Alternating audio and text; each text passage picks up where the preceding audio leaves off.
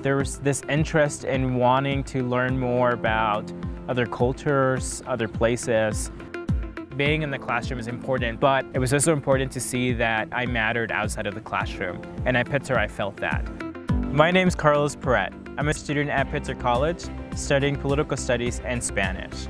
I came to Pitzer College because I fell in love with its core values. In addition to social responsibility, I really came fond of intercultural understanding. I studied abroad the summer after my first year. While in Costa Rica, I grew very, very fond of Costa Rican politics, specifically Costa Rican political parties. I ended up getting hired as a consultant for a local political party in Curridabat. We were sort of able to come up with a plan to not only win office, but also create long-lasting relationships between the upcoming administration and the citizens.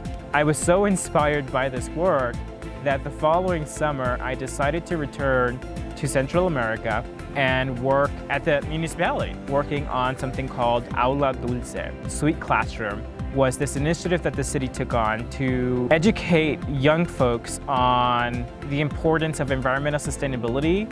When I first got to Pitzer, I had no idea what global local meant. Sort of seemed as this very strange concept to me that someone could go abroad, learn something, and then apply it locally back home. It wasn't until I went abroad that I really picked up on this idea. Most of the time, I think people are doing really great things already, and, and there's a lot that we can learn from them. My name is Carlos Perrett, and I am a Pitzer student.